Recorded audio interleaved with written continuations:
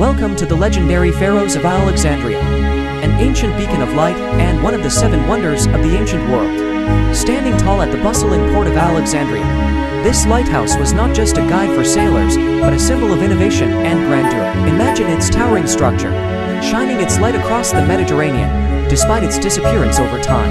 The legend of the Pharos continues to shine, illuminating the brilliance of ancient engineering.